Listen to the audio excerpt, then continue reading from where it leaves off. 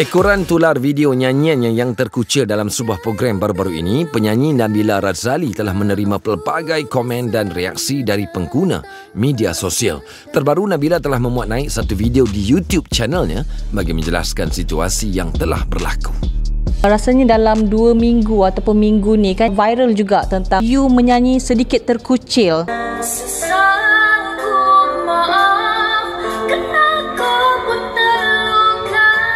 Yang mana ramailah judge you selepas tu kan. Jadi mungkin komen Nabila sendiri. Perkara yang sebegitu memang tak dijangkakan. Bella sendiri pun manusia biasa. Kita semua manusia biasa. Kita tak boleh nak lari daripada kesilapan. Jadi apa yang jadi pada malam itu Ada glitch sedikit dalam persembahan Bella. Bella sendiri pun macam Nampak macam mana boleh terkeluar ni? Okay tak apa. Tapi kita habiskan juga. Bella dah evaluate balik kan Pada malam tu apa yang jadi. Of course Bella kurang warm up. Lepas tu Bella tak jaga makan. Beraya kita banyak makan makanan berminyak lah. Minum air sejuk lah. Sepanjang tempoh PKP Kurang kerja kerja Selalunya show-show Bella tu adalah part of the exercise Untuk kita jadi lebih better, lebih better. Sedangkan lagu peluang kedua ni adalah lagu yang disukai ramai. Mungkin expectation orang terhadap lagu tu Untuk Bella nyanyi secara live pun baik. Tapi malangnya benda yang Bella sendiri tak nak berlaku Terjadi pada malam itu. Bella sedih sangat-sangat Dan Bella akui kesilapan yang berlaku pada malam itulah. Jujur Bella cakap Bella nak minta maaf juga kepada semua Yang meletakkan harapan yang tinggi. Bella akan cuba untuk improve diri Bella Supaya jadi lebih baik, lebih baik insyaAllah. Saya pasti Bella pun ada membaca komen-komen pengguna pengguna sosial media di luar sana kan ataupun netizen. Komen Bella sendiri apabila menerima pelbagai komen-komen saya pasti positif tu ada. Daripada peminat-peminat you orang kata yang memberi kata-kata semangat pastinya lebih banyak adalah komen yang negatif. Macam mana agaknya Bella menghadapi komen-komen sebegitu? Kalau nak cakap pasal komen ni sebenarnya bukan malam tu je Bella terima. Daripada dulu sampailah sekarang. Bella tak ada terasa sedikit pun dengan komen-komen yang dilontarkan kepada Bella. Positif Bella jadikan pengajaran untuk Bella dan yang negatif pun Bella ambil juga. Bella akan terima dengan hati yang terbuka. Cuma apa yang Bella kesal dengan komen yang Bella terima daripada netizen ni, bila dia orang dah mula menggunakan perkataan yang tidak sepatutnya, ayat-ayat lucah, perkataan yang mencarut semua tu tak perlu digunakan. Tak menggambarkan kita sebagai rakyat Malaysia yang kaya dengan budi bahasa ni. Kalau nak komen boleh, tapi komen dengan cara yang berhemah. Kalau nak komen cakap Bella pergi vocal class ke, Bella nyanyi tak sedap ke apa, teruskan sebab Bella terima kepada anda yang bertanya, Bella ambil kuliah vokal ke tidak? Yes, Bella ambil. Malangnya benda tu terjadi pada hari tu kan. Bella harap kita semua semua jadi lebih positif lah. Jangan terlampau fikirkan kesalahan orang lain. Kita kena bagi peluang kedua kepada semua orang. Ramai selebriti-selebriti popular juga pernah menghadapi perkara-perkara sebegitu. Dan ada juga beberapa selebriti yang memberi komen kan tentang Bella. Maksudnya ini adalah perkara biasa. Komen Bella juga apabila ada beberapa orang artis ni memberi kata-kata semangat juga kepada Nabila. Bella happy lah sebab ada sesetengah pihak yang memahami apabila situasi ni berlaku. Dia orang masih lagi memberi sokongan yang Bella perlukan pada waktu itu. Sebab itulah kalau Bella cakap Bella tak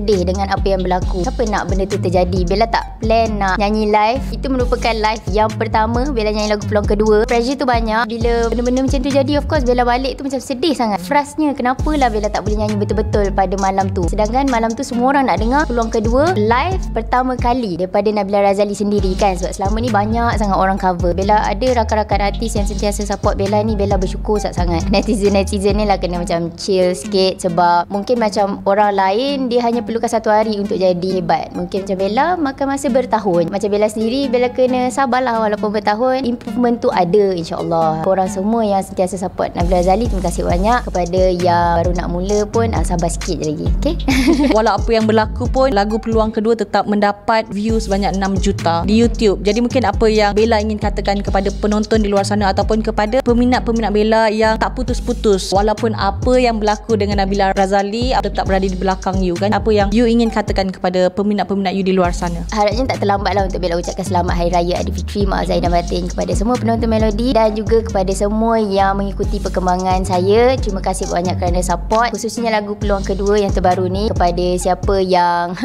uh, marah tu dah dah lah jangan marah. Bulan syawal ni kan. Kita relax. Paling penting kalau kita nak komen kita nak perbaiki diri seseorang itu gunakan ayat yang berhemah supaya kita semua dapat jadi lebih baik lebih baik lah insyaAllah. Nak minta Bella nyanyi part yang terkucuk kecil tu boleh ke? Uh, pun pressure juga ni. Maaf Andai kau terluka Maaf ku tak sengaja Tanpa sedar Sakitimu Sesalku maaf Kena ku pun terluka Pintaku hanya peluang kedua Rasa cinta darimu. Ah, boleh lah nyanyi. Nervous sikit kot malam tu kan. Nampak sangat malam tu